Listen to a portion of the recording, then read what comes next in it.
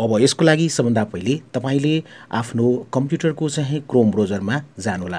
तपाईँले यो आफ्नो मोबाइलमा पनि गर्न सक्नुहुन्छ। ओके क्रोम ब्राउजरमा आइसकेपछि तपाईँले यहाँ चाहिँ देख्न सक्नुहुन्छ युआरएल बक्समा तपाईँले यहाँ चाहिँ मेरो सेयर चाहिँ तपाईँले टाइप गर्नुहोला। ओके मेरो सेयर टाइप गरिसकेपछि तपाईँले यहाँ सर्च गर्नुहोला।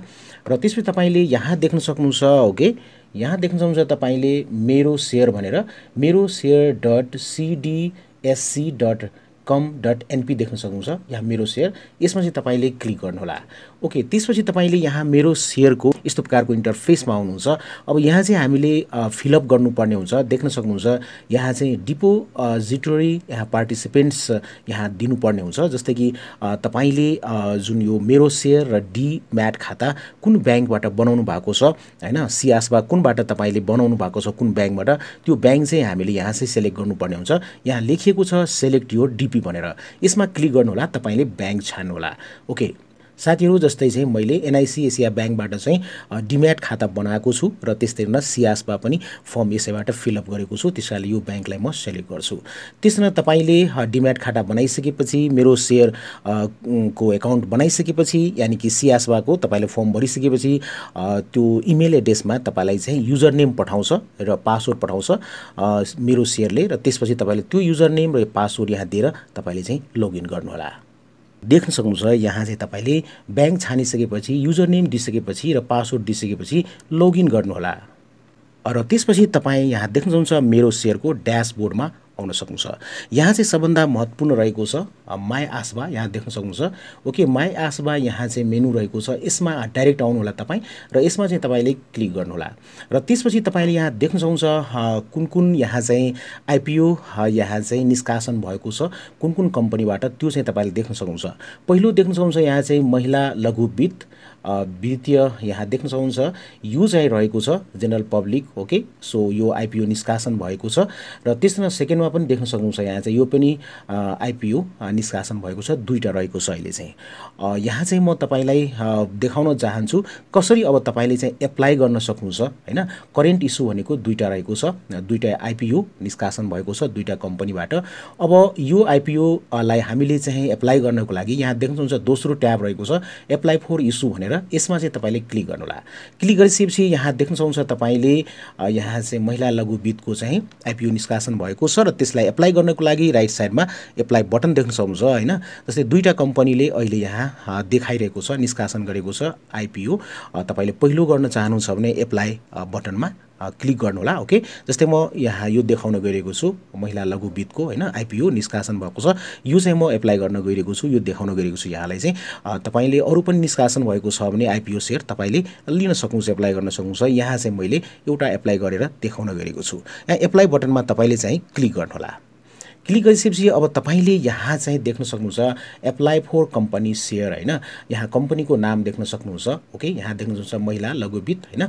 र आइपिओ निष्कासन भएको छ ओके? इस्यु म्यानेजरमा देख्न सक्नुहुन्छ Nepal SBI merchant banking limited बाट इस्यु म्यानेजर भएको छ र त्यस्तै यहाँ चाहिँ इस्यु ओपन डेट होइन? ओपन डेट तपाईँले देख्न सक्नुहुन्छ two thousand twenty one February बाह्र तारिकमा यो चाहिँ देख्न सक्नुहुन्छ ओपन भएको छ। र त्यस्तै यहाँ चाहिँ आज सोह्र तारिक रहेको छ। म राति यहाँ चाहिँ साढे बाह्र बजे यो भिडियो रेकर्ड गर्दैछु साथीहरू होइन? राति चाहिँ सोह्र तारिक रहेको छ र यो भोलिसम्म टाइम रहेको छ सत्र तारिकसम्म टाइम रहेको छ two thousand twenty one February सत्र तारिकसम्म पाँच बजे बेलुकीसम्म टाइम रहेको छ ओके? सो यो देख्न सक्नुहुन्छ क्लोज डेट होइन? Issue close date. यहाँ देख्न सक्नुहुन्छ नम्बर अफ सेयर इस्युड चाहिँ चार लाख रहेको छ ओके? त्यस्तै नै यहाँ चाहिँ तपाईँले देख्न सक्नुहुन्छ price per share price per share चाहिँ हन्ड्रेड रहेको छ। त्यस्तै न तपाईँले यहाँ मिनिमम क्वान्टिटी देख्न सक्नुहुन्छ टेन रहेको छ। मिनिमममा तपाईँले दसवटा चाहिँ किता यहाँ चाहिँ एप्लाई गर्न सक्नुहुन्छ। त्यसमा म्याक्सिमम् क्वान्टिटीमा वान थाउजन्ड रहेको छ एक हजारसम्म पनि तपाईँले लिन सक्नुहुन्छ। र डिभिजिबल यहाँ क्वान्टिटी देख्न सक्नुहुन्छ टेन रहेको छ। यो सबै भइसकेपछि टेनले हुन्छ र त्यो अनुसारले चाहिँ त्यो निर्धारण गरिनेछ यसलाई चाहिँ। र त्यस्तै न तपाईँले प्रोस्पेक्टस देख्न सक्नुहुन्छ तपाईँले डाउनलोड प्रोस्पेक्टस यहाँबाट डाउनलोड गर्न सक्नुहुन्छ। यसमा क्लिक गर्नुहुन्छ भने तपाईँले यहाँ डाउनलोड भइरहेको देख्न सक्नुहुन्छ ओके? अब यहाँ सो अल गर्दाखेरि तपाईँले यहाँ डाउनलोड भएको देख्न सक्नुहुन्छ। अब तपाईँले महिला लघु वित्तको यो तपाईँले प्रोस्पेक्टस यहाँबाट पढ्न सक्नुहुन्छ पिडिएफ फर्ममा रहेको छ। जस्तै यसमा क्लिक गर्छु म होइन? क्लिक गरिसकेपछि तपाईँले यसको बारेमा यहाँ चाहिँ अब जानकारी लिन सक्नुहुन्छ। यसको बारेमा यो हेर्नुहोला पढ्नुहोला। ओके तपाईँले सबै कुराहरू यसको बारेमा जान्न सक्नुहुन्छ यो प्रोस्पेक्टस पढेर ओके त्यस्तो न यहाँ चाहिँ म जान्छु। र त्यस्तै गरिकन फेरि यहाँ देख्न सक्नुहुन्छ बिओआइडी नम्बर यहाँ देख्न सक्नुहुन्छ तपाईँले। यो चाहिँ अटोमेटिक आउँछ यहाँ चाहिँ बिओआइडी होइन? त्यस्तै न ब्याङ्क अब तपाईँले यहाँ छान्नुपर्ने हुन्छ। ब्याङ्कको नाम दिनुपर्ने हुन्छ ओके? यहाँ चाहिँ तपाईँले जस्तै यसमा क्लिक गर्नुहुन्छ भने जस्तै देख्न सक्नुहुन्छ यहाँ चाहिँ एनआइसी एसिया ब्याङ्क रहेको छ। किन भन्दाखेरि एनआइसी एसिया ब्याङ्कबाट नै मैले डिम्याट खाता बनाएको छु र त्यस्तै न मेरो सेयर पनि यसैबाट लिएको छु। जुन सी आसवा फर्म फिलअप मैले गरेको छु यो ब्याङ्कबाट। त्यस कारणले जुन ब्याङ्कबाट तपाईँले डिम्याट एकाउन्ट लिनुहुन्छ C ASBA form fill up गर्नुहुन्छ माई सेयर एकाउन्ट लिनुहुन्छ त्यो ब्याङ्कको नाम तपाईँले यहाँ देख्न सक्नुहुन्छ। सो यहाँ चाहिँ एनआइसी एसिया ब्याङ्क लिमिटेड म यहाँ छान्छु ब्याङ्क देख्न सक्नुहुन्छ ब्याङ्कको नाम ब्रान्चको नाम चाहिँ हामीले यहाँबाट सेलेक्ट गर्नु पर्दैन। तपाईँले ब्याङ्क छान्ने बित्तिकै यहाँ चाहिँ ब्रान्चको नाम अलरेडी आउँछ।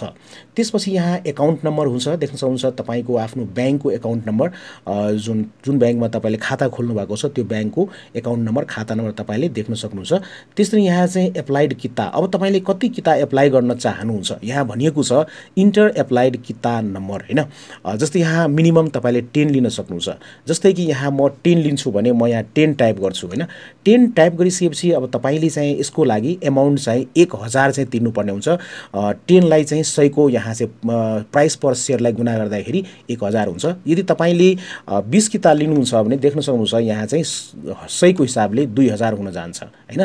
त्यस कारणले गर्दा यहाँ देख्न सक्नुहुन्छ प्राइस पर सेयर होइन? दस लिनुहुन्छ भने एक हजार हुन्छ बिस लिनुहुन्छ भने दुई हजार हुन्छ तिस किता लिनुहुन्छ भने तिन हजार हुन्छ। म चाहिँ यहाँ टेन किता मात्रै लिन्छु होइन? ओके? सो अब तपाईँले एउटा कुरा के बुझ्नुपर्ने हुन्छ भने यहाँ एमाउन्ट एक हजार छ। अब तपाईँले यो कन्फर्म गर्नुपर्ने हुन्छ कि तपाईँको ब्याङ्क एकाउन्टमा जुन एनआइसी एसिया ब्याङ्क जस्तै मेरो रहेको छ तपाईँले जुन ब्याङ्कबाट यो गर्दै हुनुहुन्छ त्यो ब्याङ्कमा चाहिँ तपाईँले जति यहाँ किता लिँदै हुनुहुन्छ र त्यसको जति एमाउन्ट हुन्छ त्यो एमाउन्टभन्दा बढी जस्तै यहाँ एक हजारको मैले लिइरहेको छु भने कम्तीमा मेरो ब्याङ्क अकाउन्टमा दुई तिन हजार रुपियाँ हुनुपर्ने हुन्छ। यदि तपाईँले यहाँ एमाउन्ट एक हजारको भर्नुहुन्छ भने तर तपाईँको ब्याङ्क अकाउन्टमा पैसा छैन भने तपाईँको यो मेरो सेयर चाहिँ रिजेक्ट हुन्छ होइन? क्यान्सल हुन्छ। त्यस कारणले गर्दाखेरि हामीले जतिको किता लिइरहेको छौँ र त्यसको कति एमाउन्ट बन्न जान्छ त्योभन्दा अलिकति बढी पैसा नै हुनु एकदम राम्रो हो। त्यो चाहिँ कन्फर्म गर्नुलाई नत्र तपाईँको मेरो सेयर चाहिँ रिजेक्ट हुन्छ क्यान्सल हुन्छ होइन? यो कुरामा चाहिँ स्योर हुनुहोला। त्यसपछि यहाँ देख्न सक्नुहुन्छ तपाईँले सिआरएन नम्बर जस्तै यो सिआरएन नम्बर तपाईँले जुन बेला चाहिँ सी आसबाको फर्म फिलअप गर्नुहुन्छ मेरो सेयरको एकाउन्ट लिनुहुन्छ त्यति बेला चाहिँ तपाईँले यो ब्याङ्कबाट सिआरएन नम्बर लिन सक्नुहुन्छ। यहाँ भनेको छ इन्टर सिआरएन होइन? त्यस कारणले गर्दाखेरि अब तपाईँले जुन बेला सी आसबा फर्म भर्नुभयो माई सेयरको एकाउन्ट लिनुभयो ब्याङ्कबाट त्यति बेला तपाईँले सिआरएन नम्बर पाउनुभएको छ त्यो सिआरएन नम्बर चाहिँ पक्कै पनि यहाँ इन्ट्री गर्नुहोला। ओके यहाँ चाहिँ इन्ट्री गर्नुहोला। म चाहिँ इन्ट्री गर्छु। साथीहरू यो फर्म फिलअप गरिसकेपछि एकचोटि तपाईँले चेक गर्नुहोला फेरि पनि कहाँ मिस्टेक भएको छ कहाँ ठिक छ कहाँ ठिक छैन पुरै तपाईँले यहाँ चाहिँ कन्फर्म हुनुहोला। कन्फर्म भइसकेपछि अब तपाईँले देख्न सक्नुहुन्छ यहाँ चाहिँ यहाँ चाहिँ टिक लगाउनु पर्ने हुन्छ ओके? यहाँ देख्न सक्नुहुन्छ I hereby declare that I am applying with the above mention पढ्नु होला यो चाहिँ डिटेल होइन? म कन्फर्म छु त्यसको लागि चाहिँ तपाईँले यहाँ टिक लगाउनु पर्ने हुन्छ र त्यसपछि यहाँ प्रोसिड तपाईँले क्लिक गर्नुहोला। प्रोसिडमा क्लिक गरिसकेपछि तपाईँ यो पेजमा आउन सक्नुहुन्छ एप्लिकेसन डिटेलमा होइन? त्यसपछि तपाईँले यहाँ देख्नुहुन्छ please enter your four digit transaction PIN to proceed अगाडि बढ्नुको लागि अब हामीले चाहिँ चार डिजिटको चाहिँ ट्रान्सेक्सन पिन चाहिँ यहाँ राख्नुपर्ने हुन्छ। यो ट्रान्सेक्सन पिन जब तपाईँले डिमेट एकाउन्ट लिनुहुन्छ कुनै ब्याङ्कबाट र मेयर सेयरको एकाउन्ट तपाईँले लिनुहुन्छ सियासबाको फर्म फिलअप गर्नुहुन्छ त्यति बेला चाहिँ त्यसपछि तपाईँले मेरो सेयरबाट मेल पाउनुहुन्छ र त्यो मेलमा तपाईँले चाहिँ डिपी आइडी पाउनुहुन्छ लगइन आइडी पाउनुहुन्छ होइन पासवर्ड पाउनुहुन्छ र त्यसपछि तपाईँले पासवर्ड चेन्ज गर्नुपर्ने हुन्छ। पासवर्ड चेन्ज गर्नुहुन्छ भने त्यसपछि चाहिँ पिन क्रिएट गर्नुहोस् होइन फोर डिजिटको ट्रान्सेक्सन पिन। त्यो चाहिँ तपाईँले पाउनुहुन्छ र त्यति बेला तपाईँले गर्नुपर्ने हुन्छ पिन अनि चार डिजिटको। त्यो यहाँ चाहिँ हामीले राख्नुपर्ने हुन्छ अब चाहिँ। म राख्छु है त। हेर्न सक्नुहुन्छ। अब तपाईँले चार डिजिटको यहाँ ट्रान्सेक्सन पिन राखिसकेपछि तपाईँले एप्लाईमा चाहिँ यहाँ तपाईँले क्लिक गर्नुहोला ओके?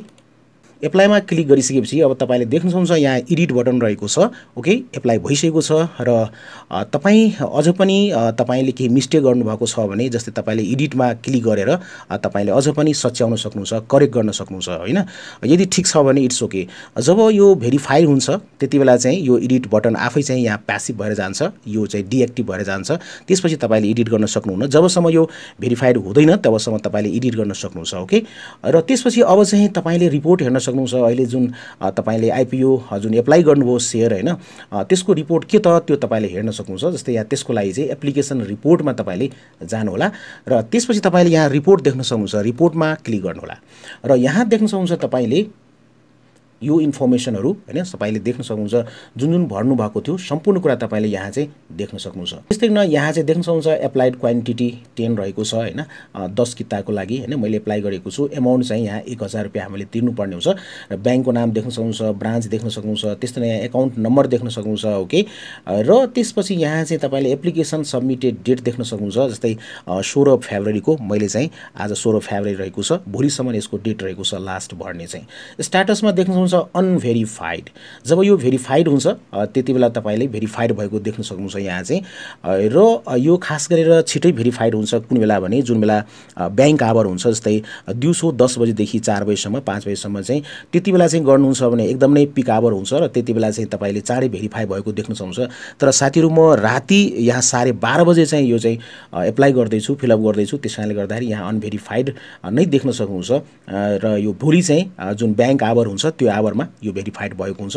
ओके र त्यसपछि देख्न सक्नुहुन्छ रिमार्क्समा यहाँ चाहिँ ब्लक्ड एमाउन्ट स्ट्याटस अनभेरिफाइड जब भेरिफाइड हुन्छ त्यति बेला चाहिँ यहाँ चाहिँ एमाउन्ट वान थाउजन्ड रहेको छ भने डिमेट एकाउन्टमा चाहिँ यो यति एकाउन्ट यति एमाउन्ट चाहिँ ब्लक भएर बस्छ ओके र त्यसपछि जब तपाईँलाई चाहिँ यो पर्छ भने यो आइपिओ पर्छ भने दस किताब पर्छ भने पक्कै पनि तपाईँले चाहिँ स्ट्याटसमा एलोटेड देख्न सक्नुहुन्छ। तर यदि तपाईँलाई यो सेयर चाहिँ परेन भने यहाँ चाहिँ नोट एलोटेड भनेर तपाईँले देख्न सक्नुहुन्छ ओके यो पनि म देखाउँछु तपाईँलाई अर्को अर्को भिडियोमा। यसरी साथीहरू तपाईँले चाहिँ यो चाहिँ आइपिओ कुनै पनि कम्पनीले निष्कासन गरेको छ भने तपाईँले सजिलैसँग भर्न सक्नुहुन्छ। भन्दै आजको यो भिडियोबाट म बिदा लिन चाहन्छु। टेक केयर गुड बाई जय नेपाल।